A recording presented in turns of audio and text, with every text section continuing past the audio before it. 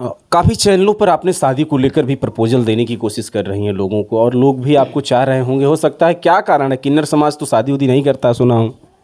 और कारण यही है कि मैं सोच रही हूँ लोग बोलते हैं तुम लोग की ज़िंदगी का क्या मतलब? कोई फ़ायदा नहीं। तो मैं सोच रही हूँ कि लोगों की इस गलत फहमी को भी दूर कर दूँ। मैं क्या आप जो नॉर्मल महिलाएँ होती उस हिसाब से हैं? कुछ अपने सिस्टम को चेंज किया है आपने बताया था। जी हाँ बिल्कुल। जो कि पहले तो मैं महिला किन्नर थी ही थोड़ी सी दिक्कत थी वो भी मेरे सर्जरी के माध्यम से ठीक हो गया। ठीक हो गया। जी हाँ। ये दोस्तों नमस्कार आप देख रहे हैं हिंदुस्तान की बात। मैं हूँ आपके साथ रमन। उत्तर प्रदेश के जनपद जौनपुर में मौजूद हैं। हमारे साथ बातचीत करने के लिए किन्नर समाज की कैसी हमारे साथ कहीं कहीं कह लिया जाए तो एक कलाकार हैं रंजना यादव जी जो किन्नर समाज से आती हैं लेकिन सोशल मीडिया पर ट्रेंड चल रही हैं। और ट्रेंड चलने का मतलब यही है कि ये गाने बजाने में किसी के यहाँ मांगने का काम नहीं करती हैं। खुद गाना बजाना कर सोशल मीडिया के ज़रिए जुड़ी हुई हैं। सबसे पहले रंजना जी आपको बहुत बहुत बधाई हिंदुस्तान की बात के साथ जुड़ने के लिए। तो हिंदुस्तान चैनल में मैं सभी का पैर छू के नमस्ते करती हूँ। कैसे आपने हमको फ़ोन कर दिया था? कहा है ना कि ऐसे ही पहली बात तो मेरा शादी करने का विचार था और मैंने एक न्यूज़ में देखा आप हैंडसम भी दिख रहे थे। तो मैं सोची ला फ़ोन कर दूँ शायद मेरी सदिया हो जाए आपसे ही। क्या शादी करने लायक आप हैं? जी हाँ मैं बिल्कुल शादी करने लायक हूँ और मेरा विचार भी था कि कोई मीडिया वाले से शादी कर लूँ। तो किससे विचार है हमसे? और आप थोड़ा सा अच्छे लग रहे थे और हैंडसम लग रहे थे तो मैं सोची ला आप ही से शादी कर लूँ। चलिए इनकी बात को आप लोग बुरा मत मानिएगा। ये कहीं न कहीं मजाकिया भी टाइप की रंजना जी और अच्छी कहीं न कहीं कलाकार भी हैं। सबसे पहले रंजना जी मीडिया पे आने का क्या मकसद रहा आपका? ओ मीडिया पे आने का तो मेरा कोई मकसद नहीं था और जो कि ऐसे ही मतलब फ़ेमस होने के लिए। चलिए रंजना जी से आगे बातचीत मैं करता हूँ। रंजना जी, आपने सोशल मीडिया पर जिस तरह से गानों पर एक्टिंग रील बनाकर तमाम चीज़ों को लेकर आप सक्रिय रहती हैं, इसका कब से आप मतलब इस विभाग में आई और कब पता चला कि आप किन्नर हैं? देखिए, पहले तो मैं पहले अपना पता बता दूँगी दर्शकों को। मेरा ग्राम दरियागंज, पोस्ट दरियागंज, जिला जौनपुर की रहने वाली मैं रंजना यादव। जब मैं छोटी सी थी तो मैं पढ़ाई करती थी और जब मैं आठवीं कक्षा में पहुँची तब मुझे पता चला कि मैं किन्नर हूँ। तो कैसे पता चला आपके मम्मी पापा कहीं दिखाएँ कि आपको फिर कैसे मालूम चला? जिससे वो होता है ना कि थोड़ा सा बोली चेंज होने लगती है और कुछ अजीब बर्ताव जैसा होने लगता है तो उसी के माध्यम से कुछ कुछ और भी अलग बर्ताव हमने अपने शरीर में देखा। तो अपनी माँ से बोला तो माँ गई मेरा टेस्ट करवाई। तो उसमें डॉक्टर बताया कि किन्नर है।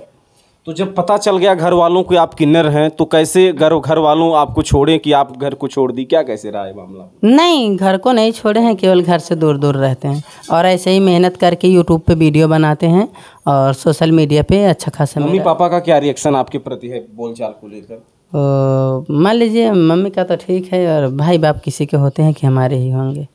एकदम नहीं सम्मान है। है थोड़ा बहुत है और तो नहीं है। अच्छा। देखिए जब भगवान ने इनको किन्नर समाज में भेजी दिया है तो किसी की भी बातें हो सकती हैं। हालाँकि इनका भी एक समाज है उसी पेट से भी आते हैं। जिस पेट से अच्छे लड़के लड़कियाँ आते हैं उससे किन्नर समाज भी आता है। तो जब पता चल गया तो आप घर को छोड़ दी। जैसे ना वो कहा है कि किन्नर समाज के लोग आते थे तो थोड़ा सा घर पे मुझे बुरा लगता था। तो मैं सोची कि अगर हम खुद नहीं घर पे रहेंगे तो मेरे घर पे कौन आएगा? इसीलिए हम ही दूरी बना लिए। जी। जैसे कि तब इन्होंने दूरी बना लिया। लगातार सोशल मीडिया पर गानों को लेकर आप चर्चे में रहती हैं। कौन से, किस सिंगर के गानों को ज़्यादा पसंद करती हैं? मैं देखता हूँ। मैं दिवाकर द्विवेदी के गाने को बहुत पसंद करती हूँ। अगर दिवाकर द्विवेदी तक मेरा ये वीडियो पहुँच रहा है तो मैं हाथ जोड़ के नमस्ते करती हूँ, क्योंकि मेरी उनसे संपर्क भी है, अच्छी खासी, और उनका एक वीडियो, ये एक गाना ये था फेसबुक पे बाबू ने कमेंट मांगत है। अपन जीवन साथी परमानेंट मांगत है। ये गाना मेरा काफ़ा काफ़ी अच्छा वायरल चला। तो ये जो आप हिलाने का कार्य करते हैं ये मुख्य कारण फ़ेमस आप इसी से हुए हैं क्या? नहीं नहीं नहीं। अगर बोला जाए कि अगर हम इस काम से फ़ेमस हुए तो ये बिल्कुल बात गलत है। रंजना तो 555 का क्या मतलब है? देखिए मैं जब पढ़ाई कर रही थी वो हाई स्कूल में पहुँचने से जैसे नौ में पढ़ी, दसवीं में मेरे पास पैसे वैसे नहीं था कि मैं नाम उम लिखा लूँ।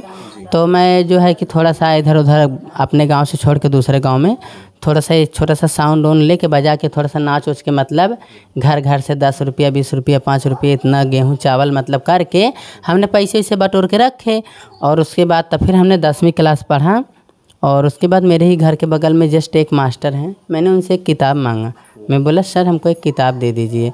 तो वो बोले कि तू का पास होगा रहने दे पढ़ने के लिए। ठीक? ऐसे मुझे थोड़ा सा डपट के बोले अच्छा। और उनकी बातों का मुझे बुरा लगा। तो जो है कि फिर भी हमने किताब उताब लेके कहीं ना कहीं से व्यवस्था करके पढ़े तो पचपन परसेंट से पास हुए।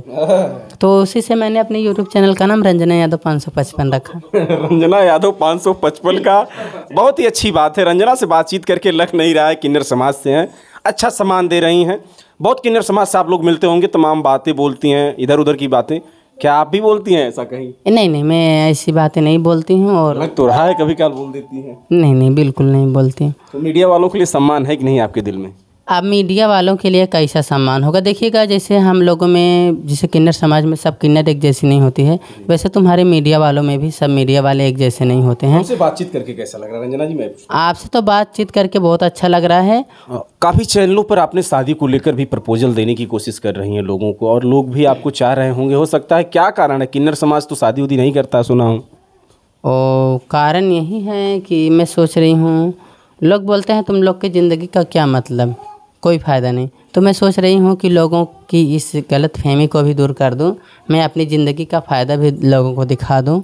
तो मैं सोच रही हूँ कि जैसे सीमा हैदर की कहानी हुई है, मान लीजिए इसी प्रकार से कोई आदमी है और उसके बच्चे हैं, बीवी नहीं हैं तो मैं उसके बीवी के रूप में उसके बच्चों को और मतलब परिवार में शामिल हो सकती हूँ शादी करके।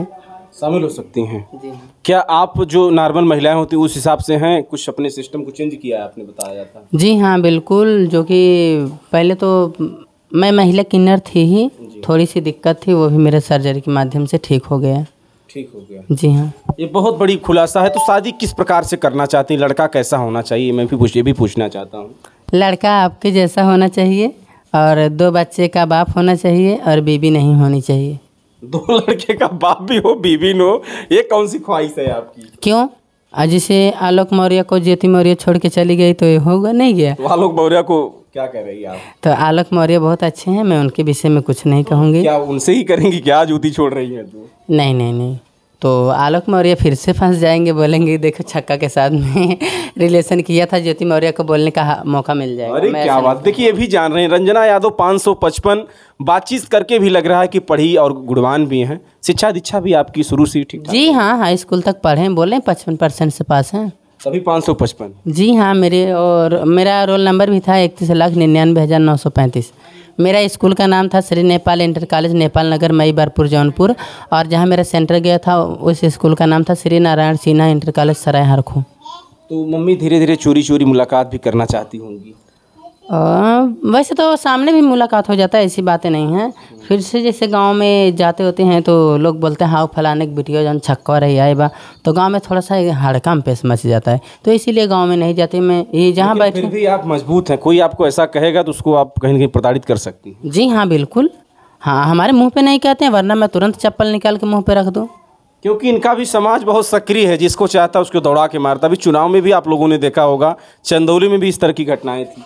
वो सब तो मैं पहली बात तो मैं किन्नर समाज का न्यूज़ ही नहीं देखती हूँ क्योंकि मुझे उनकी हरकतें नहीं अच्छी लगती। कहीं ना कहीं बेहुदा काम करते हैं तो उनका न्यूज़ और उनके बारे में मैं जानना भी नहीं चाहती हूँ। कुछ गाने भी आपके कुछ वायरल हैं मैं चाहूँगा जो फ़ेमस होंगे थोड़ा सा दर्शकों तक तो पहुँचाइए क्योंकि किन्नर समाज डांस और गानों में भी इंटरेस्ट रखता है। मैं चाहूँगा हो जाए। मेरा एक गाना था जो अभी वायरल हुआ है। टूटल बाटे दिल सखी मिले नाराम। टूटल बाटे दिल सखी मिले नाराम, सहिल दर्द सखी सुबह हो शाम। टूटल बाटे दिल सखी मिले नाराम, दिलवा में जख्म बनाए के गईले। मीडिया वालों से सदिया रचाई के अइले देखिए, मीडिया वालों से इनको काफ़ी प्रेम है। क्या नंबर आपका मैं वहाँ दर्शा सकता हूँ? कोई प्रपोजल अगर भेजना चाहेगा आपको तो क्या कहेंगी? तो आप मेरा नंबर नहीं दर्शाइएगा, मेरे चैनल का नाम दर्शा दीजिए। जैसे मेरे चैनल का नाम है रंजना यादव 555 तो मेरे चैनल में आके अगर कमेंट करेंगे तो मैं हर एक कमेंट का रिप्लाई देती हूँ। कुछ कलाएँ आपकी इंटरनल भी है मैं जानना चाहता हूँ, कुछ अगर हो सके हमारे दर्शकों तक तो पहुँचाइए। जो अच्छी कलाएँ हो, ये नहीं कि कोई गलत। तो देखिए, एक मैंने फ़िल्म में देखा था पवन सिंह को। एक हीरोइन के साथ में खूब चिपक चिपक के डांस कर रहा था। उसके बाद में उसका सीना ऐसे हल्का सा, बहुत हल्का सा किया था। तो लोग उसको टैलेंट बोल रहे थे। एक मतलब क्या बोलते हैं, एक बड़े आर्टिस्ट ने किया तो लोग उसे टैलेंट बोल रहे हैं। और मैं किन्नर समाज की होकर एक छोटी सी आर्टिस्ट अगर मैं करती हूँ तो लोग मुझे वो बोलते हैं। क्या बोलते हैं उसको? छक्का नहीं जी?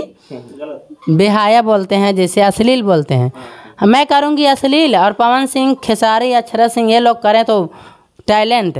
तो सब गलती दर्शकों का है, जो हमारे टैलेंट को अश्लील बोलते हैं। वास्तव में छोटी कला नहीं है सब महिलाओं और तमाम लोग पास। हम भी नहीं कर पाते हैं, क्या हम कर पाएँगे?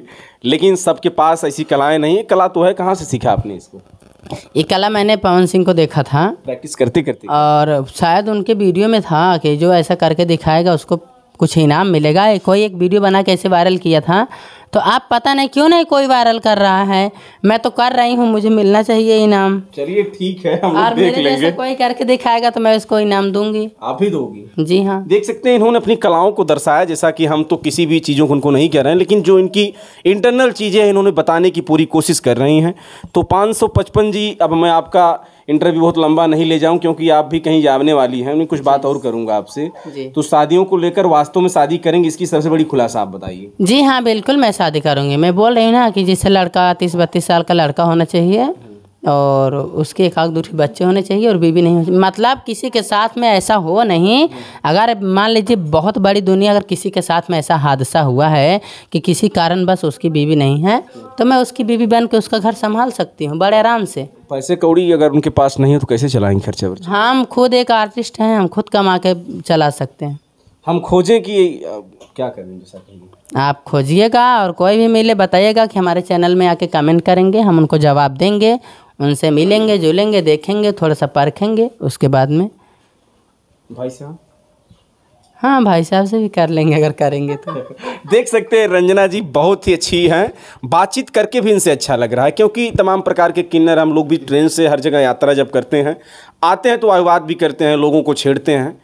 लेकिन रंजना जी भी अब धीरे धीरे जनपद जौनपुर के अलावा अन्य जिलों में भी जाना आना होगा। अब इसमें अयोध्या में बराबर रह रहे हैं। किसके यहाँ रह रही हैं अयोध्या में? अयोध्या में मैं रहती हूँ चंदा रिकॉर्डिंग स्टूडियो में और जो कि मेरा काफ़ी दूर तक परिचय है गोरखपुर बस्ती खलीलाबाद और यहाँ अयोध्या सुल्तानपुर लखनऊ कानपुर बनारस और मिर्ज़ापुर भदोही चुनार। कहाँ कहाँ मदद करेंगे हमारी अगर कहीं ज़रूरत पड़ी तो? हाँ हर एक जगह मदद करेंगे। जहाँ आपको ज़रूरत पड़े एक बार कॉल करके बोलिएगा। देख लीजिए आप पूरी मदद करने के लिए तैयार हैं। मीडिया साथियों से निवेदन है कि रंजना जी अच्छी कला आर्टिस्ट हैं। और किन्नर समाज की एक अच्छी कहन की किन्नर हैं और इनके साथ अगर आप भी अच्छे व्यवहार करेंगे तो भी आपके साथ अच्छे से रहेंगी। ऐसे ही और आगे बातचीत कभी मिलेंगी तो करूँगा। कुछ कहना चाहेंगी? एक बात मैं भैया के न्यूज़ के माध्यम से ये कहना चाहूँगी अगर कोई जैसे हमसे एल्बम करवाना चाहता है या फिर कोई प्रोग्राम करवाना चाहता है या फिर किसी चीज़ में मुझे रोल या एक्ट्रेस अगर मुझे उस काबिल समझे, करवाना चाहता है तो रंजना यादव पाँच सौ पचपन मेरा चैनल है। उस चैनल में आके कमेंट करेंगे, कमेंट के द्वारा मैं जवाब दूँगी। उसी में नंबर का लेन देन हो जाएगा, हम प्रोग्राम करेंगे, ठीक? क्योंकि मैं मेहनत करके कमाती हूँ, मैं मैं जो कि ट्रेन में चल उल के नहीं करती हूँ। आज साक्षात मेरे पास वहाँ से दिल्ली से चल के एक आर्टिस्ट आई हैं, जो कि खेसारी लाल जी के साथ फ़िल्मों में काम भी की हैं और कल्लू भैया के साथ भी वो काम की हैं। और मेरे लिए ढेर सारे कपड़े वगैरह लेके आई हैं और उस सब का वीडियो आपको देखने को मिलेगा। अनिता मिश्रा ब्लॉग, मिश्रा म्यूज़िक वाले। दो चैनल उनके हैं, आप लोग ज़रूर देखिएगा। बातचीत करके बड़ा अच्छा लगा रंजना। यादव से 555 के नाम से जानी जाती हैं। आगे मैं कभी फिर बातचीत करूँगा क्योंकि टाइम इनको पास इनके पास भी कम है और हम भी बहुत दूर से आए ऐसे ही और पॉलिटिकल तमाम खबर लेकर मैं हाजिर रहूँगा। जय हिंद, जय भारत।